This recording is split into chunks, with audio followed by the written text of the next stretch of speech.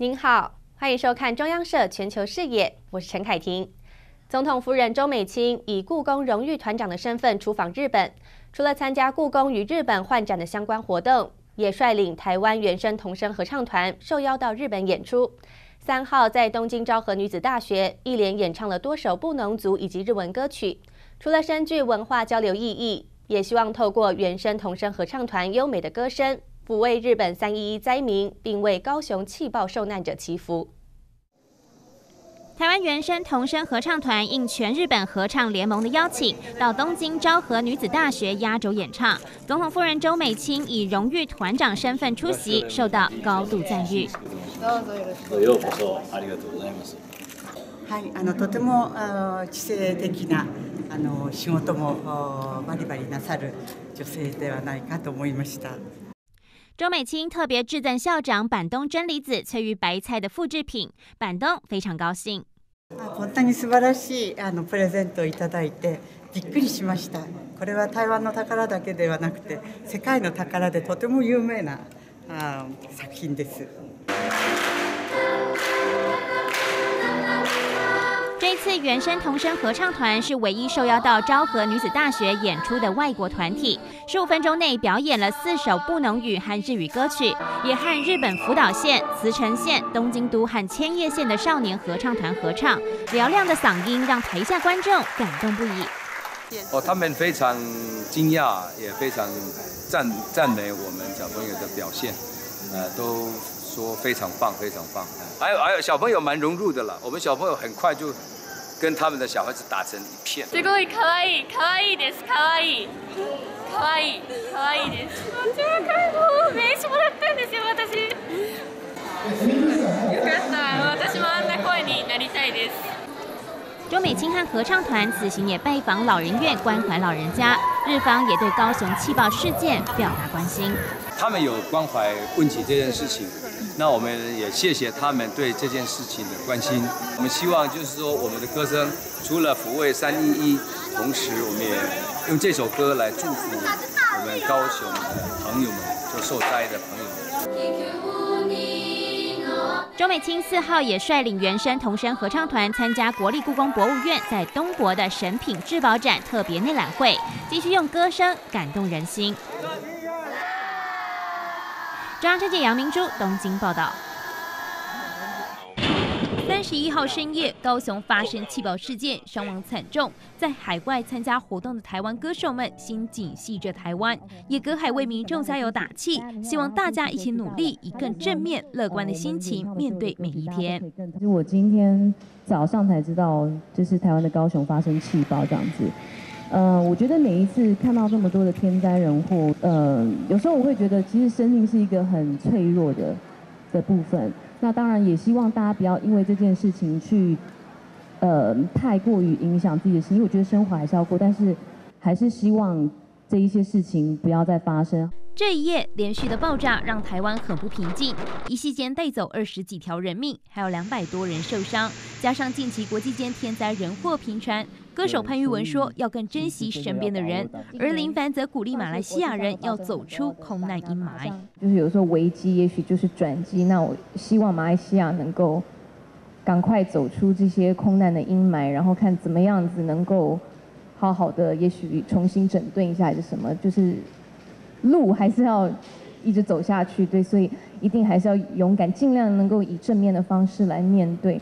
林凡也提到，身为艺人能多做的就是投入一些慈善活动，传递更多正面力量，帮助灾区的民众度过低潮。中社记者王义文吉隆坡报道。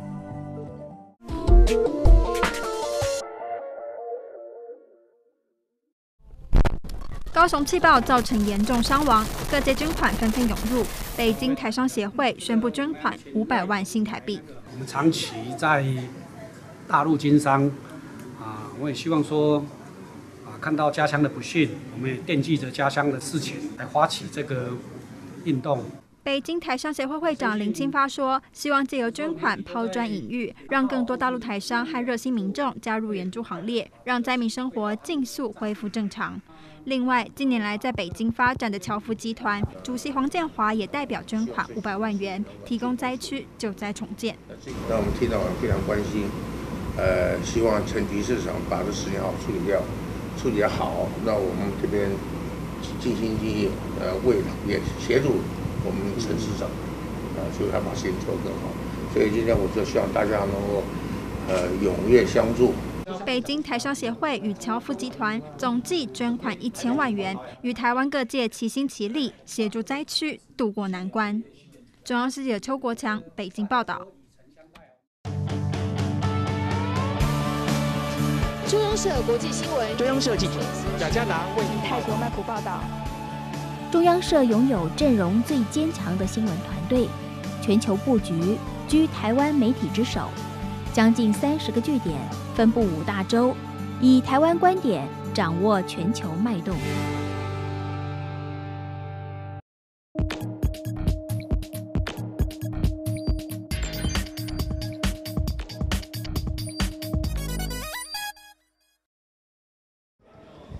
高雄气爆事件伤亡惨重，中华职棒员工会发起爱心募款。开赛前，身为中职球员工会理事长的彭振敏抓紧空档，带领其他球员，包括高志刚、陈宏文等人，拿着捐款箱走遍内野观众席，又走到外野自由席，亲自向球迷募款。谢谢。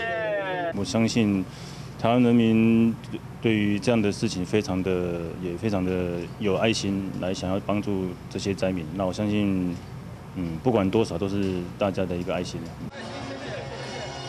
球员现身看台，引起民众骚动，个个都掏出钱来踊跃捐款，就是很开心，然后可以做公益，也希望大家可以多多有钱的出钱，有力的出力。捐多捐少，就是大家有这个心是最重要的，大家就是尽一份心力，然后。为台湾加油！这样，在赛前短短二十分钟内，一共募得新台币十四万元。另外，球员工会也发起捐出一日薪资所得，不少球员响应，全数善款将捐到高雄市政府八一气爆专户，来帮助高雄灾民。装设记者张新伟台北报道。高雄出生的旅美职棒投手陈伟英，台北时间二号早晨首度拿下美职五连胜。不过，陈伟英表示，得知气爆灾难后十分哀伤，希望大家平安无事。昨天晚上回到家的时候，就听到老婆也在讲，然后自己就很担心。今天早上起来的时候，不管怎么样，就是赶快打打一通电话回家，就是不管怎么样，一定要赢得这今天的这一场比赛。然后不管怎样，就是想要献给高雄的大家，那希望大家是平安无事这样子。陈伟英主场出战西雅图水手队，独撑七点一局，仅失一分夺胜投，累积战绩十二胜，并投出本季个人新高的单场八 K。不过英仔赛后却未见笑容。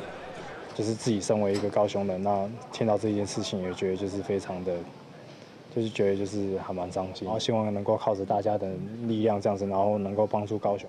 陈文英受访，首先就将圣头献给高雄乡民。他表示，自己身为高雄人，目前会和老婆和经纪公司讨论，希望以大家的力量帮助高雄。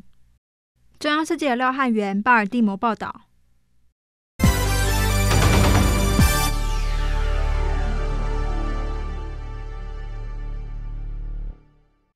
江苏昆山的台资企业中融金属制品公司二号发生粉尘爆炸意外。造成超过七十人死亡，近两百人受伤送医。